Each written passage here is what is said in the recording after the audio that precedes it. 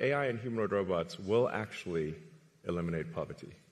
And Tesla won't be the only one that makes them. I think Tesla will pioneer this, but there will be many other companies that make humanoid robots. But there, there is only basically one way to uh, make everyone wealthy, and that is AI and robotics. In the long term, where will things end up? Long term, I don't know what long term is. Maybe it's 10, 20 years, something like that. For me, that's long term. Um, my prediction is that work will be optional. Optional. Optional. Um, so. We'll take that. Yeah.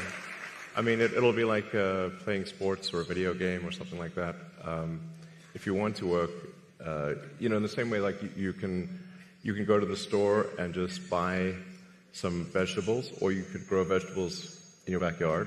It's much harder to grow vegetables in your backyard, but some people still do it because they like growing, growing vegetables. Um, that will be what work is like, optional.